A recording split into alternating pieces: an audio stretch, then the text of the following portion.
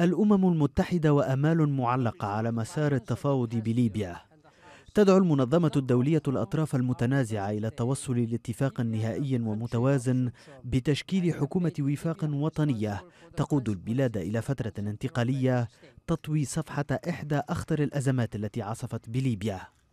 في منتجع الصخيرات بالمغرب برناردينو ليون يعد للفصل الأخير من مسلسل كابد من أجل إخراجه طيلة أشهر طويلة لم يكن طريقه خلالها مفروشا بالورود.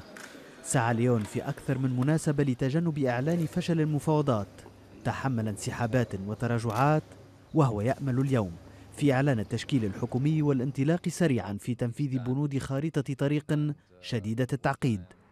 في هذه الأثناء كان مقر المؤتمر الوطني المنتهي ولاية بطرابلس هدفا لتفجير خلف جرحى وعلامات استفهام عدة ليس أقلها مدى قدرة أي حكومة مقبلة على ضبط الأمن وإعادة الاستقرار في البلاد.